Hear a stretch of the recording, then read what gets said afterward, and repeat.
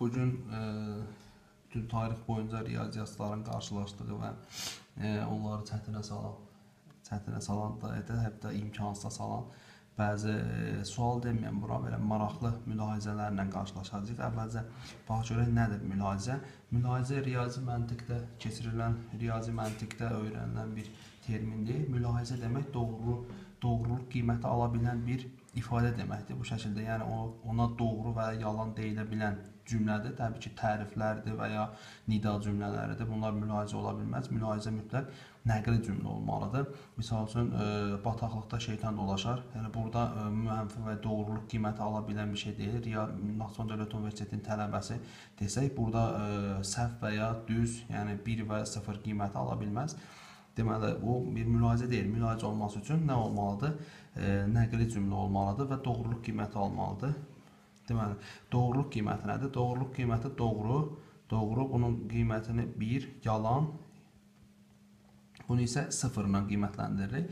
İfadə əgər mülahizə doğrudursa, A mülahizəsi, əgər A mülahizəsi doğrudursa, ona 1, yalandırsa ona 0 verir. Eyni zamanda B mülahizəsi yalandırsa 0, doğrudursa 1 verir. Bu şəkildə e, doğruluq cədvəlləri də tərtib edirik, amma o buradakı mövzu deyil. Burada paradoksları işləyəcəyik. Paradokslar isə biraz mürəkkəbdir. Paradokslar eyni zamanda həm doğru, həm də yalan qiyməti ala bilən mülahizə də demişəm, amma yəni bir bu da bir ziddiyyət təşkil edib. Yəni mülahizə deyil. Mülahizə həm do ya doğru, ya yalandır. Yəni bu həm doğru, həm də yalan qiymət ala bilir. Hətta bəlkə də heç birini almır.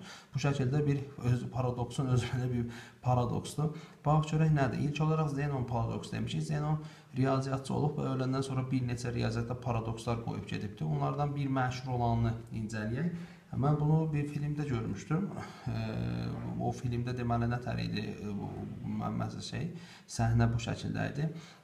Qız oğlanı oğlan durmuş, o qız dayanmışdı və oğlan ona tərəf gəlirdi. Qız da oğlana riyazi olaraq mənə çata bilərsənmi deyirdi. O da təbii ki, çataram dedi. Amma sonra sırada Zenon paradoksu ortaya çıxdı. Mən də bu sualı bu şəkildə qoydum. Aralarındakı məsafə 32 metr olan oğlan qıza çatmaq üçün ona tərəf gedir. Qız isə hər dəfə gəldiyi yolun yarısını gəl deyə bir şərt qoyur. Oğlan qıza necə çatar? Hər dəfə gəldiyin yolun yarısını gəl deyir. Hər dəfə gəldiyin yolun yarısını gəlirsə, bu ki, yolu getmək üçün onun yarısını getməliyik. Bu oğlan olsun, bu isə qız olsun və oğlanla qız arasındakı məsafə nə olsun? 32. 32 metr. Deməli 32 metri gəlmək üçün bu məsafənin yarısını gəlməlidir. Yəni 16 metrini gəlməlidir. Geriyə nə qaldı? 16 metr. Qalan bu 16 metri gəlmək üçün o bu məsafənin yenidən yarısını gəlməlidir. Yəni 8 metr gəlməlidir. Geriyə nə qaldı? 8 metr. Bu 8 metr gəlmək üçün bunun yarısını gəlməlidir. Yəni 4 metrin gəlməlidir. Geriyə nə qaldı? 4 metr. Bu 4 metri gəlmək üçün bunun yarısını gəlməlidir. Yəni 2 metr gəlməlidir.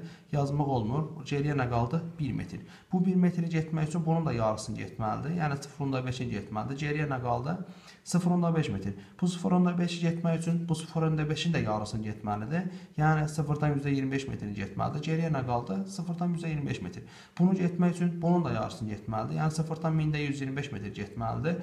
Geriyə, geriyə yenə belə-belə bu şəkildə davam edib gedəcəkdir və heç vaxtı ə, e, gedib qıza çatmayacaq. Təbii ki, riyazi olaraq çatmayacaq. Biz bu çatacağını bilirik.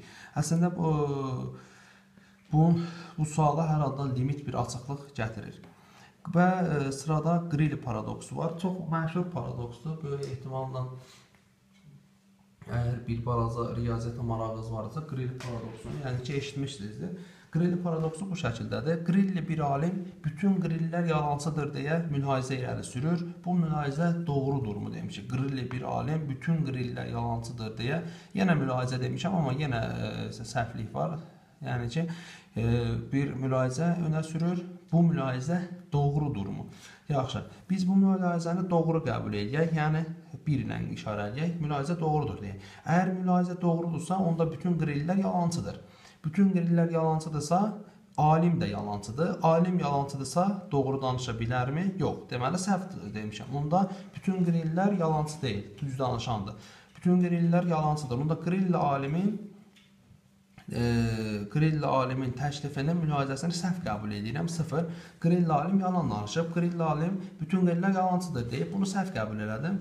Bu bunun e, mülahizənin əksi nədir? Bütün qrillər yalançıdır. Əksində bütün qrillər doğru danışandır. Bütün qrillər doğru danışandırsa, alimin özü də qrilli olduğuna görə doğru danışmalıydı, amma yalan danışıb. Bu şəkildə bir çıxmaza düşürük.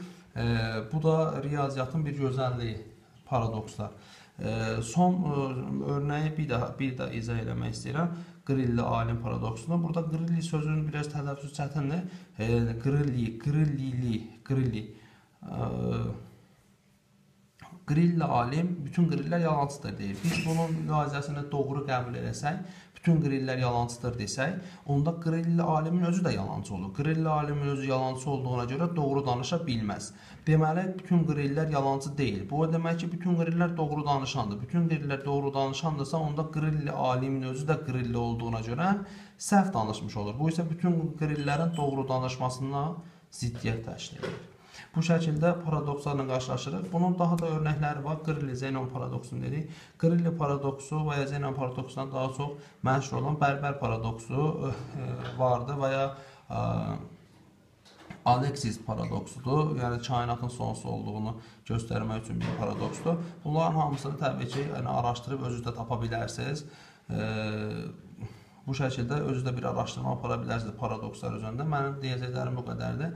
Yenə də buradakı bütün mövzuların hamısını əhatə edən bir şeylər demirik. Sadəcə olaraq bir neçə örnəyi veririk. Belə bir şeyin var olduğunu göstərirəm. Siz də sizin də edə biləcəyiniz bir şeydir. Hər videoda dediyim kimi bu yenə orta məktəbdə və ya hazırlıqda keçirilən bir şeylər deyil. Siz də bu videolara baxıb müəllimlərə çətin vəziyyətdə qoymayın. Heç kim heç də bütün riyaziyyatçıların bilməsi gərəkən şeylər deyil. Sadəcə xüsusi marağı olan insanların bilməsi kifayətdir bizim kimi, mənim kimi və ya bu videonu izləyən sizlər kimi. Sağ olun.